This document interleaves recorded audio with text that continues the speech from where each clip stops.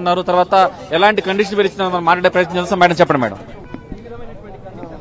ఐదు లక్షల పూచీకత్తుతో కూడినటువంటి పర్సనల్ బాండ్ ఒకటి ఇవ్వాల్సి ఉంటుంది. కండిషన్స్లో రెండు షూరిటీస్ కంట్రీ విడిచి వెళ్ళకూడదు. ఎటువంటి ట్యాంపరింగ్ చేయకూడదు. సిబిఐ వాళ్ళకి ఇన్ఫర్మేషన్ ఇవ్వాలి.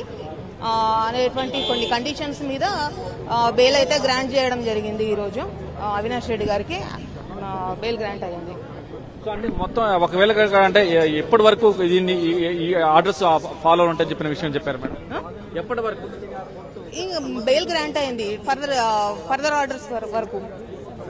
సో చూస్తాం కదా కొన్ని కండిషన్స్ తోటి బెయిల్ ఇచ్చారు. తర్వాత ఆ కండిషన్స్ మీదనే ప్రస్తుతం ఆయన ప్రతి వారం ఖచ్చితంగా సిబిఐ ముందు హాజరవ్వాలి. ఎట్టి పరిస్థితుల్లో వయలేషన్ అవ్వదని చెప్పిన విషయాన్ని కూడా చాలా స్పష్టంగా చెప్పి తెలుస్తా ఉంది.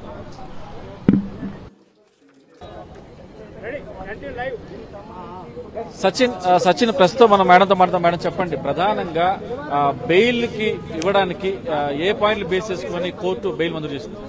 అంటే ఆర్డర్ కాపీ అయితే ఇప్పటి వరకు మన దగ్గరికి రాలేదు.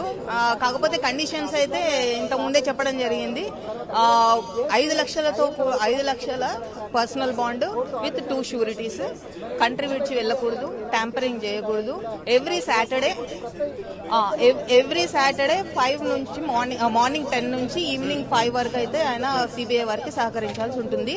టిల్ జూన్ ఎండింగ్ అంటే వాళ్ళకి సిబిఐ వాళ్ళకి ముప్పైవ తారీఖు వరకు అవకాశం ఉంది కాబట్టి ముప్పైవ తారీఖు వరకు ఆయన సహకరించాల్సి ఉంటుంది. సో దీంట్లో ప్రధానం మనం చూస్తే కండిషన్స్లో ప్రధానంగా అంటే అడ్వకేట్ సమక్షంలో విచారణ చేయాలని చెప్పి అన్న కండిషన్ పెట్టారు అట్లాంటిది అయితే ఇప్పుడు ఆర్డర్ కాపీలో అయితే ఏమీ లేదు. అట్లా మెన్షన్ ఏం చేయలేదు. ప్రీవియస్గా ఉన్న దాన్ని కన్సిడర్ చేయొచ్చు. రికార్డింగ్ అయితే జనరల్గా చేస్తారు. సో కాబట్టి వచ్చిన పూర్తి ఆర్డర్ని పరిశీలించిన తర్వాత మాత్రమే చెప్పగలుగుతాం. అంటే వీళ్ళు కూడా సునీత అడ్వకేట్ కూడా ఏదో కోర్టులో ఏదో పిటిషన్ దాఖలు చేశారంట దాని గురించి మీకు ఐడియా ఉందండి పిటిషన్ అయితే దాఖలు చేయడం జరిగింది. దాన్ని అయితే మేము చూడలేదు ఇంతవరకు. చూసిన తర్వాత వాళ్ళు ఏమని వేశారన్నది చూసి దాన్ని బట్టి చెప్తాం. ఫైవ్ మినిట్స్లో వస్తుంది. దాన్ని బేస్ చేసుకుని చేస్తాం. చూస్తున్నాం కదా అడ్వకేట్ గారు చేస్తున్న వస్తుంది చెప్తున్న సునీతకు సంబంధించిన అడ్వకేట్ కూడా ఒక పిటిషన్ ఒక పిటిషన్ దాఖలు చేశారని తెలుస్తా ఉంది. సో దీనికి సంబంధించి మరికొంత మన సార్ చెప్పండి సార్.